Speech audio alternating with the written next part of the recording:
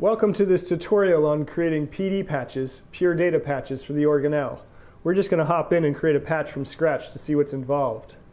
Now this isn't meant to be an in-depth tutorial on PD in general, and we have a link to a good tutorial you should probably check out if you're new to PD to learn about how to build stuff in PD. But even if you're a PD expert, there's some good things to know about creating patches specifically for the organelle. So we'll just hop right in and see what's involved.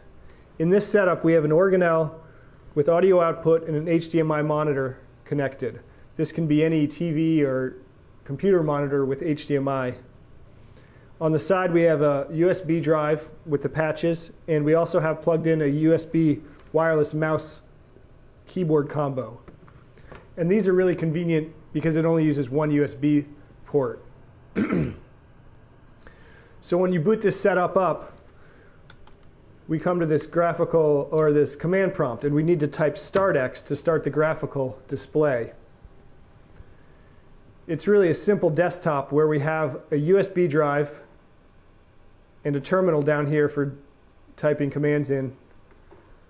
And over here we have a red button that will exit the graphical display and drop you back into that command prompt. So let's take a look at the USB drive. In here we have the patches folder, and inside is the empty patch, the one patch that we have installed, just an empty patch. It turns out that the easiest way to make a new patch on the organelle is just to copy an existing patch. To do this, we'll right click and choose copy, and then we'll just paste it right back in the same window. And we'll call it my first patch and rename it. Now on the organelle, we have to select reload, and we see empty patch and my first patch. Let's take a look at the my first patch. Inside here, we have one file called main.pd. And at a minimum, your patch needs this one main.pd file. When you load the patch on the organelle, it'll attempt to load that file, main.pd.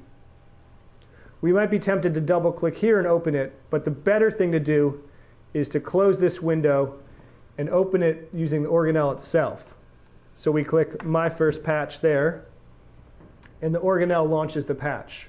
The reason we want to open it using the organelle is that the organelle will load all the correct MIDI and audio configurations, and it will also load this mother patch alongside your patch. So we have three windows here. We have the mother patch, we have main.pd, which is our patch, and then we have the PD status window.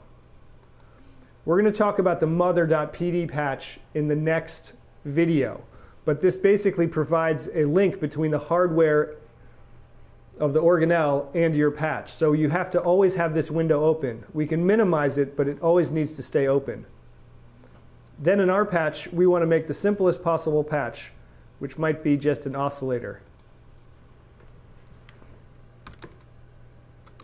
We'll make the oscillator object with a frequency of 440 hertz. And in any other PD tutorial, they will probably say connect this to the output, connect the output of the oscillator to this DAC object, which will send the output to your computer speakers. But on the organelle, we want to actually use the throw object. So we're going to throw it onto the out L or the out left bus and the corresponding catch object is in the mother patch. And the reason we use the throw object instead of the DAC object is so that the mother patch can control the overall output of your patch. So if we connect these and then go to the organelle and turn up the volume, we see some activity on the VU meter. If we were to use the DAC object and not the throw object, we wouldn't be able to control the, the volume using the volume control in the organelle, and we also wouldn't see the output volume on the VU meter. There's a corresponding out L, out R channel, so throw out R for right. And now when we connect these, we see output on both right and left sides. This is about the most simple patch you could make in PD, and we'll just save it.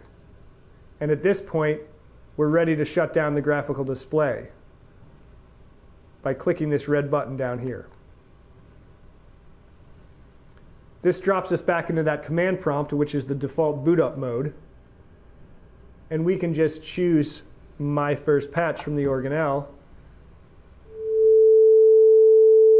And we have our, our oscillator. This is about the most basic patch you could make with the organelle.